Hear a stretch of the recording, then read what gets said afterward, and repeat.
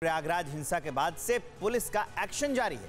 Prayagraj police ने देर रात 24 को हिरासत में लिया है। हिरासत में लिए गए लोगों से पूछताछ कर रही है पुलिस। अब तक इक्यानवे लोगों को गिरफ़्तार किया जा चुका है।